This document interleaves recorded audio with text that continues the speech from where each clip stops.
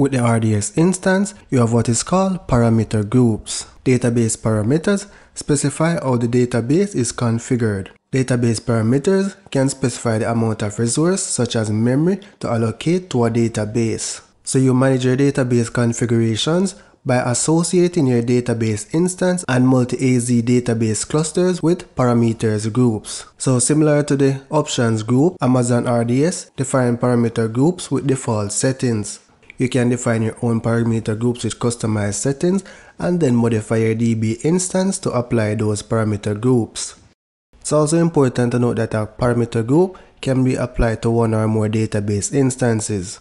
DB cluster parameter groups only apply to multi-AZ DB clusters. When working with parameter groups, there are a few things that you need to consider. DB instance parameters are either dynamic or static. When you change a static parameter and save the parameter group, the parameter changes take effect after you manually reboot the instance. When you change a dynamic parameter, by default, the parameter change is applied to your database instance without having to reboot. So similar to the DB instance parameters, DB cluster parameters are either static or dynamic as well. If the database instance isn't using the latest changes associated with the DB parameter group, then the console will show a status of pending reboot for the database parameter group. In many cases, you can specify integer or boolean parameter values using expressions, formulas, and functions. Functions can include a mathematical log expression, However, not all parameters support log expression, formulas, or a function.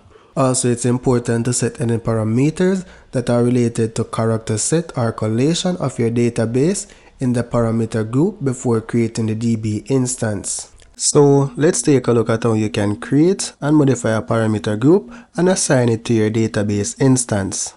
From the RDS console, select parameters group. So here you'll see that I have four parameters group. So here I have four parameters group. You should be only seeing one for the database which you created.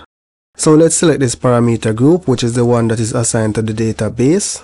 And you'll see the list of configurations that are in the parameter group. So some of these settings are settings that you will normally change from the settings of the SQL Server instance, right? So to make the modifications, select edit and you will have the option to edit all the values all at once. Now once you select the drop down, you will see a value of 1 or 0 for you to allow the change.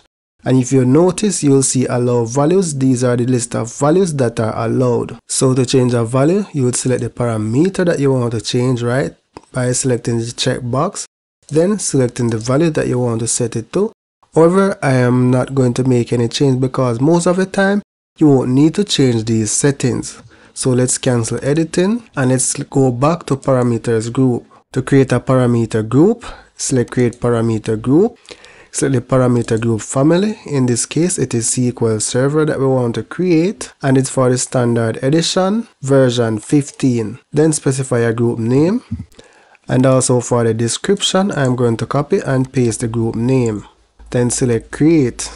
To assign the parameter group to the database, select databases, select the DB instance, select modify, and then scroll down towards the end of the page where you'll find the option to change the parameter group. So under additional configurations, you can find the DB parameter groups. So in order to change the group, you just expand and then select SQL param, then select continue. For the schedule modification, we can apply during the next maintenance window or we can apply it immediately. So we're going to set it for the next maintenance window.